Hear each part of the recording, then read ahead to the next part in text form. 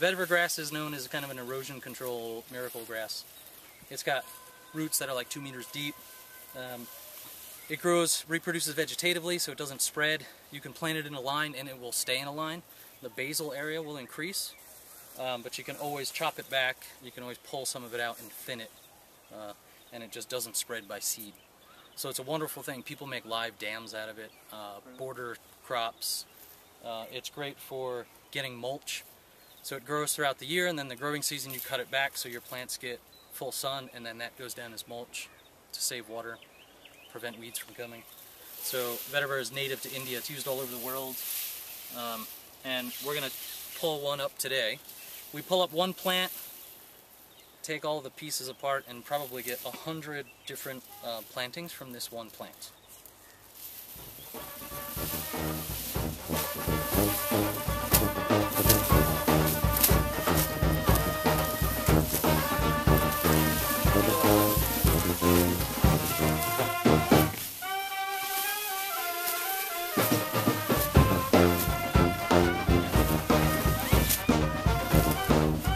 So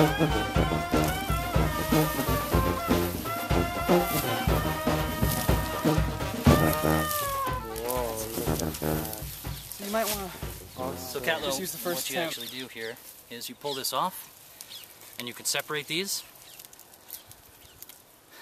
And these here, these are two different plantings. Here, that goes in the ground, about there. Uh, with How the top cut, Okay. just about like that. Okay.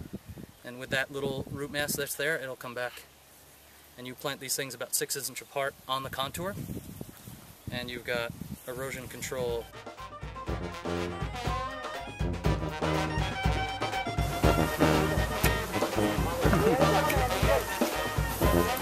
Very good. Acha.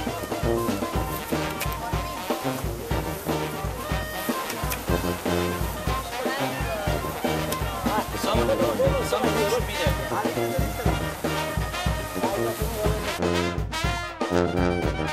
some